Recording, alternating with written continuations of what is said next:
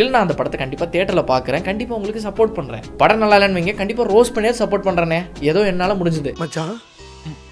டேய் மாப்பிள்ள take it easy ஆனால் நீ கொடுத்த படம் எனக்கு பிடிக்கல. ஆனால் நீ கேட்ட ப்ரொமோஷனை நான் தரேன். என் சப்ஸ்கிரைபர்ஸ்காண்டியெல்லாம் இல்லை உனக்காக நீ கேட்ட. எல்லாருக்கும் வணக்கம். இன்னைக்கு நம்ம வீடியோவில் ட்ரைடன் சாக்ஸ் ப்ரொடக்ஷனில் forty first director Hariharan direct பண்ணி ஒரசாத ஒரசாத புகழ் விவேக் மர்வின் மியூசிக் கம்போஸ் பண்ணி இதை ரியல் ஏகே அஸ்வின் குமார் நடிச்சிருக்கிற என்ன சொல்ல போகிற படத்தை பற்றி தான் பார்க்க போகிறோம் ஐ நோ அந்த கடையில் யாருக்கா டீ ஆத்துறன்னு சொல்லி கேட்டீங்கன்னு எனக்கு வேறு வழி தெரியல. ஏன்னா என்கிட்ட வேற கண்டென்ட் இல்லைங்க. உங்ககிட்ட ஏதாவது ஒரு புது கண்டென்ட்டுக்கு ஐடியா இருந்தால் கீழே கமெண்ட் பண்ணுங்கள் ஓகே பொங்கலுக்கு அஜித் குமாரோட வலிமை படம் ரிலீஸ் ஆகட்டி ரியல் ஏகேவோட என்ன சொல்ல போகிற ரிலீஸ் ஆனதுனால இந்த பொங்கல் ஏகே பொங்கல். தேட்டரே ஒரு திருவிழா மாதிரி தான் இருந்துச்சு. ஃபர்ஸ்ட் டே ஃபர்ஸ்ட் ஷோ பார்க்கறதுக்கு அவ்வளவு பொண்ணுங்க வந்திருக்காங்க. அவர் பிடிச்சிட்டாருங்க. பொண்ணுங்களை பிடிச்சிட்டாரு.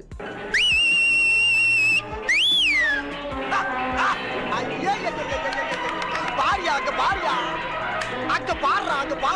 விளையாடுறது பாடுறா.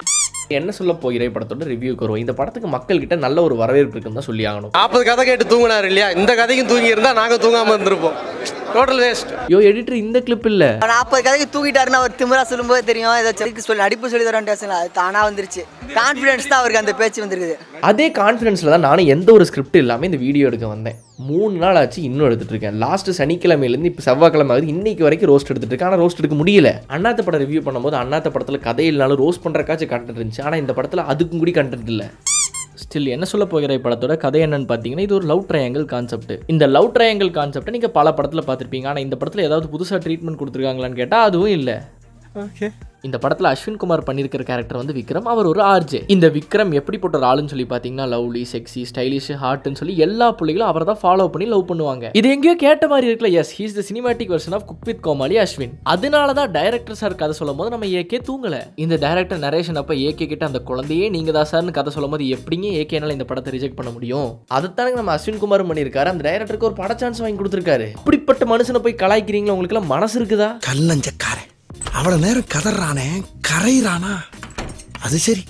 எல்லாருமே நம்மள மாதிரியே இருப்பான்னு நினைக்கிறது மகா முட்டாள்தனம் இந்த படம் இந்த உலகத்தில் நடக்கிறதுல ஏதோ வித்தியாசமான சினிமாட்டிக் யூனிவர்ஸில் நடக்குதுன்னு நினைக்கிறேன். ஏன்னா எப்போ பார்த்தாலும் எல்லாரும் ஜாலியாக இருக்கானுங்க ஃபன் பண்ணிகிட்டே இருக்கானுங்க. இவங்களுக்கு ஒன்பது மணி நேரம் டியூட்டி இருக்காதா நைட் ஷிஃப்ட் இருக்காதானே எனக்கு தெரியல. ஏன்னா எப்பவுமே have fun guys have fun காய்ஸ்னே சுற்றுறானுங்க இப்படி எனர்ஜெட்டிக்காக கரிஸ்மேட்டிக்காக ஒரு ஹீரோ இருக்கும்போது அவர் லவ் பண்ணுறதுக்கு ஒரு ஹீரோயின் இருக்குங்க ரெண்டு ஹீரோயின் வைக்கிறோம். ரெண்டு பேரா மாமி? ஃபர்ஸ்ட் ஹீரோயின் அவந்திகா மிஸ்ரா இவங்க க்யூட்டாக இருக்காங்க அழகாக இருக்காங்க. அஸ்வின் கூட ஆல்ரெடி ரெண்டு மூணு ஆல்பம்ஸ் நடிச்சிருக்காங்க. செகண்ட் ஹீரோயின் தேஜஸ்வினி இவங்க தான் யூடியூபின் சமந்தா. ஐயோ இந்த கவுண்டர் பிரியாணி மேன் கொடுத்துட்டாரா? சரி யூடியூபின் நயன் தாரான்னு வச்சுக்கோங்க. காசா பணமாக வச்சுக்கோங்க. என்னதான் ரெண்டு பொண்ணுங்க லவ் பண்ணுறதுக்கு ஒரு பெரிய கான்செப்ட் இருந்தாலும் இந்த படத்தில் அஸ்வின் குமார் நடிச்சிருக்காருன்னு சொல்ல முடியாது. வாழ்ந்திருக்காருன்னு தான் சொல்லணும். என்னை பொறுத்தளவுக்கு இந்த படத்தில் அஸ்வின் குமார் ரெண்டு ஹீரோயின் கல்யாணம் பண்ணியிருந்தாலும் எந்த ஒரு தப்பு இல்லைன்னு தான் நான் சொல்ல வரேன். ஓயாம ஆசைப்படாத.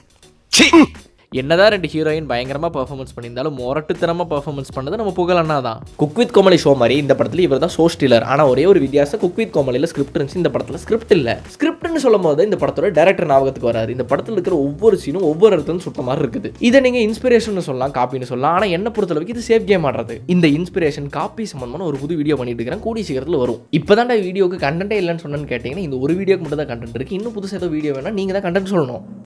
தென் உண்மையை சொல்லணும்னா இந்த ஸ்கிரிப்ட்ல படம் எடுக்கிறதுக்கான ஸ்கோப்பே ரொம்ப கம்மி. அப்படி இருந்தாலும் என்கேஜிங்கான ஸ்க்ரீன் பிளேயோட தான் எடுத்துருக்கணும். இந்த படம் அஸ்வின் அண்ணோட ரியல் லைஃப் மாதிரி இருக்கனால கண்டிப்பாக அவங்க ஃபேன்ஸுக்கு பிடிக்கும் தெரியும். அதனால தான் டேரக்டர் இந்த கதைக்குள்ள இறங்கியிருக்காரு. நம்ம டைரக்டர் கையில் ஒரு முப்பது நிமிஷம் பைலட் ஃபிலிம் எடுக்கிறதுக்கு தான் ஸ்கிரிப்ட் இருக்கு. ஆனால் அதை வச்சு இவர் ஒரு ஃபீச்சர் ஃபிலிமே பண்ணிட்டாரு. இப்படி ஒரு கான்டெக்ட்டே இல்லாமல் இந்த டேரக்டர் இந்த படத்தை எடுத்தனால என்னால் ரோஸ்ட்டும் பண்ண முடியல ரிவ்யூ பண்ண முடியல பிரேக் டவுன் பண்ண முடியலன்ட்டு ரொம்ப கஷ்டமாக இருக்குது. யோ டேரக்டர் இந்த வீடியோ மட்டும் எட்டு நிமிஷத்துக்கு வரல நீ செத்த. இவங்க பண்ணுறதெல்லாம் என்ன சார்? அக்கிரமமாக இருக்குது சார். இவங்களாம் பண்ணுறது ரொம்ப தப்பு சார். இந்த டைரக்டர் வளர்ந்து வரும் டைரக்டர்களுக்கு கற்றுக் கொடுக்கறதுக்கு ஒன்று இருக்கு. அதான் எப்படி ஒரு ப்ரொடியூசரை மண்டை கழுவி ஒரு சுமாரான ஸ்கிரிப்டை ப்ரொடியூஸ் பண்ண வைக்கிறது. இவர் சீதா சிவாவோட தம்பியா இருப்பாரோ?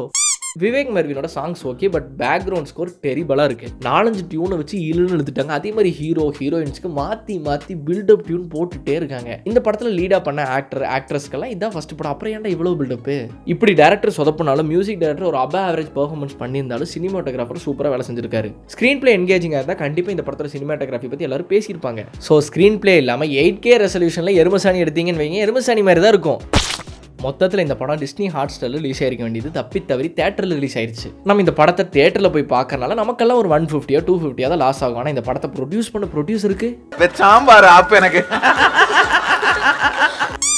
இந்த படத்துக்கு என்னோட ஒப்பீனியன் மட்டும் இல்லாமல் ஒரு பப்ளிக் ஒப்பீனியன் தெரிஞ்சுக்கலாம்னு சொல்லி சினிமா விகினோட கம்யூனிட்டி போஸ்ட்டில் போய் பார்த்தேன். அங்கேயும் ஃபுல்லாக பாராட்டு மலையாக தான் இருந்துச்சு. பேசுகிற நான் எல்லாம் ஆயிரம் பேசட்டும். I love you Ashwin and ESP கண்ணி அலர்ட் கண்ணிகளை உங்களுக்கு ஒன்று தெரியுமா? எத்தனை பேர் அஸ்வினை கலாய்க்கிறதுக்கு முக்கியமான காரணமே நீங்கள் தான். இன்னும் உங்கள் கண்ணி மென்டாலிட்டியை குறைக்காம வச்சிங்கன்னு வைங்க அது அஸ்வினுக்கு தான் டேஞ்சர் அப்புறம் அஸ்வாங்கி ஃபேன்ஸ் படம் ரிலீஸ் ஆயிடுச்சு என்ன சொல்ல போகிறாய்? நீங்கள் ஒரு மியூசிக்கல் ஃபேமிலியா இல்லையா? அதான் மியூசிக்கலியாக கேட்குறேன் என்ன முட்ட போகிறாய்? எங்க முட்ட போகிறாய்? இவ்வளவு நடந்திருந்தாலும் இந்த படத்தில் ஒரு ஸ்பெஷலான விஷயம் நடந்திருக்கு. இத்தனை நாள் ரிவ்யூ போட்டிருந்தா நம்ம இட்டு ஸ்பெஷாந்த் அண்ணா இப்போ ரோஸ் போட ஆரம்பிச்சிட்டாரு. அஸ்வினே நீதாயா உயிர் அப்படின்லாம் இந்த பொண்ணு கத்துறதை பார்த்து ஏமாந்து நம்மால் கரிகாலன் சக்சஸ் சர்க்கஸ் மாதிரி இப்படி இப்படின்னு அப்படி என்னமோ இப்படி இப்படி பண்ண அப்படி அப்படி. ஆனால் ஒன்னே ஒன்றுனே திஸ் சூட்ஸ் யூ பெட்டர் அவனை நான் மட்டும்தான்டா அடிப்பேன். தேங்க்யூ ஃபார் வாட்சிங் இந்த வீடியோ எட்டு நிமிஷம் வந்திருக்கும்னு நினைக்கிறேன். அப்புறம் ஒரு முக்கியமான விஷயம் நான் இன்னும் இந்த படம் பார்க்கல. இந்த வீடியோ மூலியமாக கிடைக்கிற காசு வச்சு இந்த படத்தை தேட்டரில் போய் பார்க்கணும். ஸோ மறக்காம வீடியோவை ஷேர் பண்ணுங்க. என்னங்க முழிக்கிறீங்க? அவன் படத்துக்கு கதையே இல்லாமல் நாலஞ்சு படத்தை பார்த்து ஒரு படம் எடுக்கும்போது நான் நாலஞ்சு ரிவ்யூவை பார்த்து ஒரு ரிவ்யூ எடுக்கக்கூடாதா? அப்படி தான் எடுப்பேன். வரட்டா?